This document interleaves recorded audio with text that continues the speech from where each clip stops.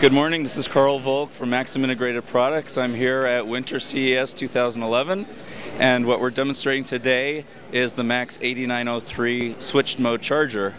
What we have here are two cell phones that were actually live charging at this time and we have a thermal imaging camera.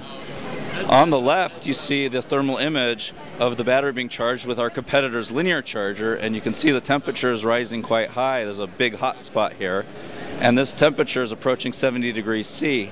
Now the room in here is about 25 degrees C, so that's getting up to a 30 degrees C temperature rise, 25 degrees C eventually.